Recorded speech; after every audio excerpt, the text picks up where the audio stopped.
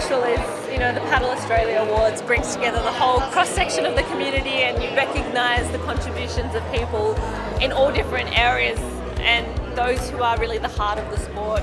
And I think it's really special to recognise them as well. So yeah, the life members, the volunteers and officials of the year, the junior athletes who are aspiring to go to the Olympics or World Championships. And you know, I'm really proud also of my parents, Myriam and Richard, who were honoured tonight in the Hall of Fame. So to be there in that room tonight was extra special because there are a lot of emotions and yeah, it's a lovely way to celebrate. It's a, a huge honour to be acknowledged as a Life member and to join the other Life members of Paddle Australia. I've been involved in paddling since I was 14, so I really have spent a lifetime putting time into paddling in, in all sorts of different ways. So very exciting, very surprising.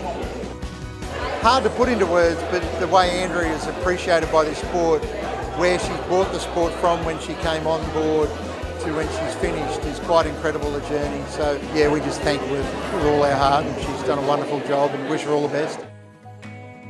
It's such an inspiring room to be sitting in and having dinner and rubbing shoulders with all these people every day. Like even in a home environment, I look around me, the athletes, and everyone that's involved in the sport, past, present. It's yeah, it's eye-opening. It's inspiring to, to get up and do what we do every day to represent such an amazing community. It's wonderful to be recognised for the President's Award tonight.